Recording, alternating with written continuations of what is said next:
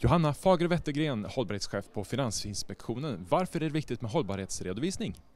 Ja, hållbarhetsredovisning är viktigt för att det vi saknar idag är en gemensam standard och ett gemensamt sätt att redovisa hur man påverkar och påverkas av exempelvis klimatförändringarna, hur man arbetar med mänskliga rättigheter och så vidare.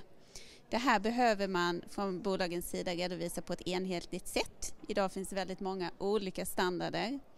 När man gör det här på samma sätt så ökar möjligheten för investerare att jämföra bolag med varandra. Man får lättare att prissätta risker och därmed fatta välgrundade beslut. Så det här är grunden i informationskedjan.